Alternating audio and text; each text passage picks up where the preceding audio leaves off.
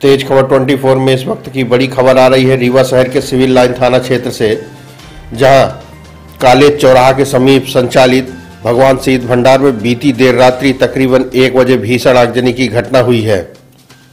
इस आगजनी की घटना के दौरान भगवान शीत भंडार में लगभग करोड़ों रुपए का नुकसान हुआ है। आगजनी की इस घटना के बाद मौके पर भगदड़ मच गई और घटना की सूचना मिलते ही सी सीएसपी शिवाली चतुर्वेदी सहित भारी पुलिस बल मौके पर पहुँच गया। साथ ही दमकल के आधा दर्जन वाहनों को बुलाया गया, जिसके बाद घंटों मशक्कत के बाद आग पर काबू पाया गया है।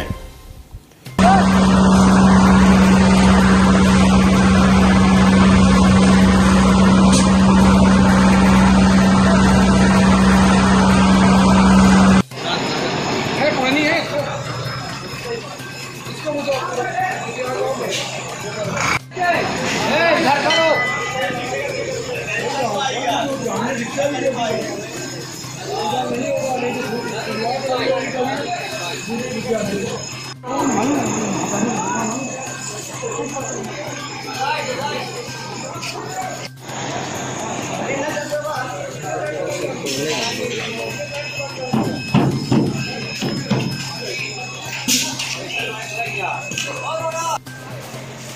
बताया गया है कि भगवान शीत भंडार के मालिक विजय पाल और अनंत पाल सिंह हैं, जिनकी मौके पर रो रो कर बुरी स्थिति थी।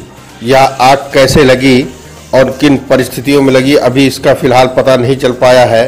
पड़ोसियों द्वारा आगजनी की सूचना पुलिस को दी गई थी, जिसके बाद पुलिस और दमकल की टीमें मौके पर पहुँची थी और घंटों की मशक्कत के बाद आग पर काबू पाया गया है। इस दौरान मौके पर सीएसपी शिवाली चतुर्वेदी सहित भारी पुलिस बल मौजूद रहा।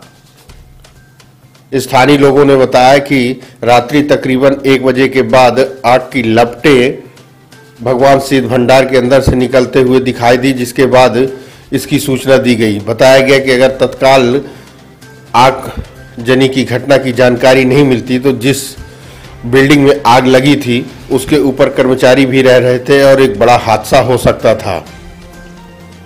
तेज खबर 24 आपको घटनास्थल से सबसे पहले यह सीधी तस्वीरें दिखा रहा है, जहाँ भीषण आगजनी की घटना भगवान शीत भंडार में हुई है और करोड़ों रुपए की क्षति बताई जा रही है। बताया जा रहा है कि भगवान शीत भंडार रीवा शहर का सबसे पुराना शीत भंडार था, जिसके चलते यहाँ काफ़ी सामान रखा हुआ था।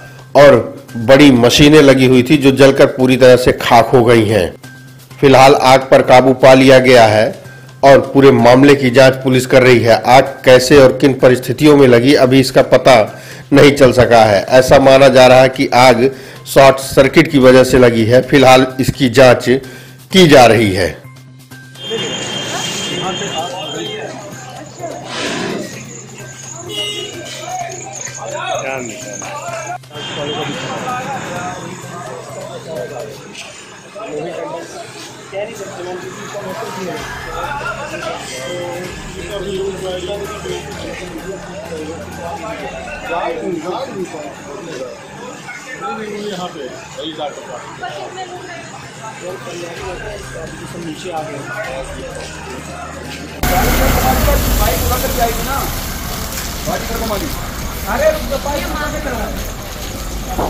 करो नहीं जाएगी मशीन के ऊपर आप टेंशन हाँ सुनो भैया मत